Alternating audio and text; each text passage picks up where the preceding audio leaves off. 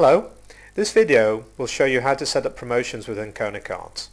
We're going to set up a promotion which will give you a 10% discount for products belonging to a certain manufacturer and the promotion will be associated with a coupon code. The first thing that we need to do is to install the promotion module. The promotion module we need to install is called product discount so let's install that. Now we can create the promotion itself by going over to marketing and so we want to create a new promotion.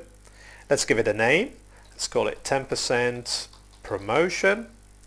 We select the promotion module which is the product discount module. We say that it requires a coupon. It doesn't require a minimum order value. It only requires one product to be ordered. The discount will be 10%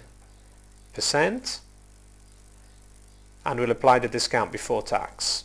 So let's save that. Now let's create the coupon.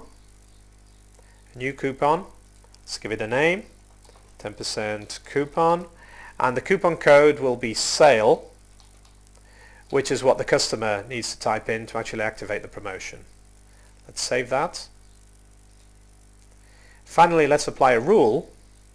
As you can see from this panel within KonaKart's, you can apply various rules to promotions. You can make them active for products belonging to certain manufacturers, belonging to certain categories. You can actually select the products themselves. You can select the customers.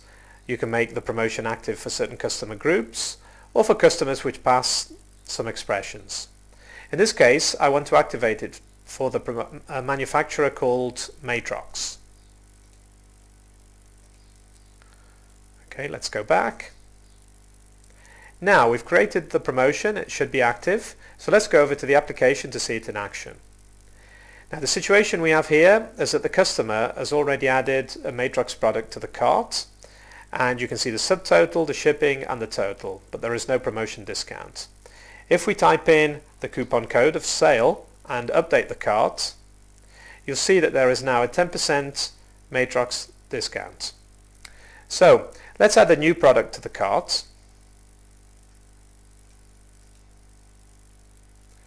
And we see that the total has been updated, but the discount is only for Matrox.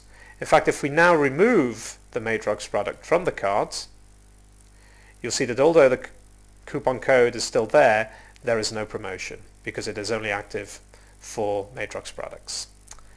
Well, that was it. That's it for today. I hope you found it useful.